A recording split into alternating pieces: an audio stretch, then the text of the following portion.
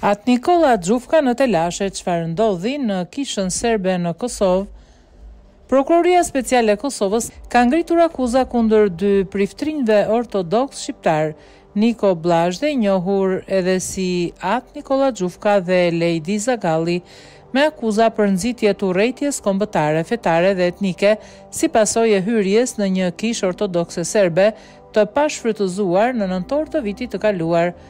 Blazhde dhe Zagalli dyshohet se kanë mbajtur një liturgji në kishën në verilindje të Kosovës dhe kanë paralajmëruar Kishën Ortodokse Serbe se rrezikon zjarret e ferrit nëse përpiqet të ndërhyjë.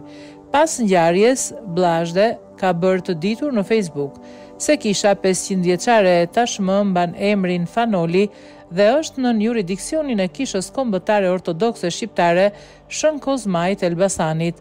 Blazhde ka lindur në Elbasan, në Shqipërinë e Mesme.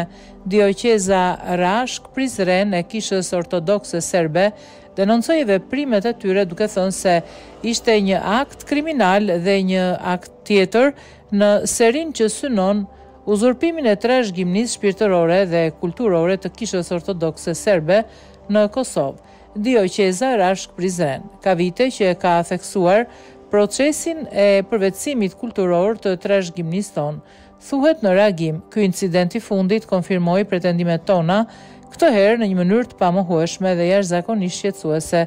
Në një deklaratë për Kosova Online, gazetë nën ndikimin e propagandës serbe, tre ditë pas liturgjisë, Kisha Ortodokse Shqiptare u distancua nga Blazhda duke e quajtur atë mashtrues dhe person që nuk është prift. Sipas prokurorëve, të dy personat i kanë mohuar akuzat.